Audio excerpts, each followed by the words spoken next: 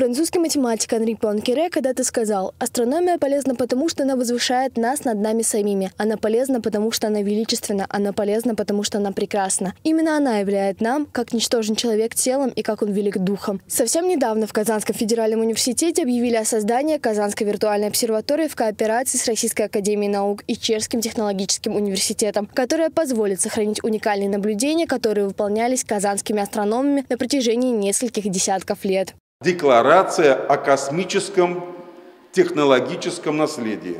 Она так и называется, Казанская. Но вот с тех пор как бы декларация есть, а база данных не существует.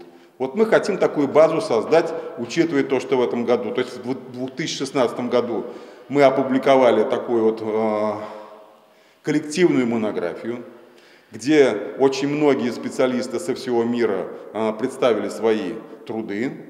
И, соответственно, там много говорится о космическом технологическом наследии. Юрий Нефедев по приглашению доктора Рене Гудеца в декабре 2016 года посетил Чешский технологический университет для участия в семинаре по редукции астронегативов и обсуждению перспектив совместных научных исследований. Наш молодой ученый, который много уже премий получил, Андреев Алексей, он когда выступил с докладом о создании Центра космических технологий в Казани и, соответственно, вот оцифровки нашей библиотеки астронегативов, то к нему потом, как неудивительно, выстроилась целая очередь специалистов и из США, и из а, Австралии, из Аргентины, и европейские коллеги наши. Проект «Астрономическая виртуальная обсерватория» — это многопериметрическая виртуальная среда астрономических данных, основанная на современных цифровых компьютерных технологиях. Деятельность виртуальной обсерватории направлена на увеличение возможностей астрономических исследований, в том числе и в области прикладного характера, а также аккумулирование колоссального объема спектрального разнообразия данных всемирной астрономической науки.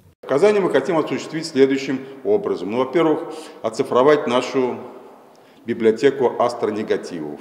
Почему это все делается? Ну, не с точки зрения даже того, что можно все переобработать, те наблюдения, которые были выполнены, а самое главное, что на этих пластинках могут быть объекты, которые в те времена в общем-то, интереса не представляли, а сейчас представляют огромный интерес. Допустим, там те же самые сверхновые звезды. К настоящему времени в мире в цифровой вид приведено уже более 18 миллионов астрономических фотопластинок. Данные виртуальной обсерватории можно будет использовать и при проведении учебных занятий, как в вузах, так и в школе. Так как астрономия стала возвращаться в школы, но учебных пособий и тем более практических материалов астрономических наблюдений в наличии практически нет. Диана Шилова, Роман Самарин, Univer News.